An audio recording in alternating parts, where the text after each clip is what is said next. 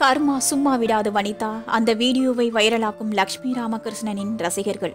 Big pass ஜோடிகள் நிகழ்ச்சியில் ஒருவர் தன்னை மோசமாக நடத்தி அசிங்கப்படுத்தி விட்டதாக வனிதா விஜயகுமார் தெரிவித்ததை பார்த்த லக்ஷ்மி ராமகிருஷ்ணனின் ஆதரவாளர்களோ கர்மா சும்மா விடாது என்று கூறியுள்ளனர். பிக் பாஸ் ஜோடிகள் நிகழ்ச்சியில் கலந்து கொண்டார் வனிதா. இந்நிலையில் ஒருவர் தன்னை மோசமாக நடத்துவதாக கூறி அந்த நிகழ்ச்சியிலிருந்து வெளியேறினார்.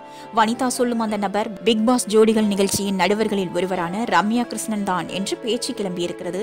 டாஸ்க் ஒன்றில் வனிதாவுக்கு பத்துக்கு ஒன்று மதிப்பெண் கொடுத்திருக்கிறார் ரம்யா கிருஷ்ணன் அங்குதான் பிரச்சனை துவங்கியதாக கூறப்படுகிறது. இந்நிலையில் வனிதாவின் அறிக்கையை பார்த்த இயக்குனரும் நடிகையுமான லட்சுமி ராமகிருஷ்ணனின் ஆதரவாளர்களோ இதற்கு பெயர்தான் கர்மா என தெரிவித்துள்ளனர். முன்னதாக வனிதா பீட்டர் பாலை திருமணம் செய்து கொண்டார். அப்பொழுது பீட்டர் பாலின் முதல் மனைவியான எலிசபெத் ஹெலனுக்கு ஆதரவு தெரிவித்த லட்சுமி ராமகிருஷ்ணனை வாடி போடி என்று பேசியதுடன் மோசமான வார்த்தைகளை பேட்டியில் பயன்படுத்தினார் வனிதா.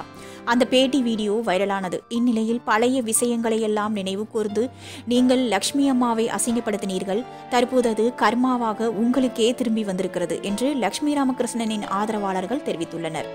வனிதா பேட்டியில் தன்னை மோசமாக திட்டிய வீடியோவை ரசிகர்கள் மீண்டும் ஷேர் செய்வதை பார்த்த லக்ஷ்மி ராமகிருஷ்ணன் கூறியிருப்பதாவது அந்த அதிர்ச்சிக்காக சாரி அந்த தாக்குதலில் இருந்து நான் இன்னும் மீண்டு வரவில்லை. அது நடந்து ஓராண்டாகிவிட்டது. ஆனால் வழி மட்டும் இன்னும் போகவில்லை.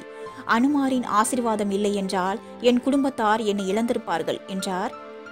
லக்ஷ்மி ராமகிருஷ்ணனின் ட்வீட்டை பார்த்த நடிகையும் டாக்டருமான ஷர்மிளா கர்மா ஒரு பூமராங் என்று தெரிவித்துள்ளார்.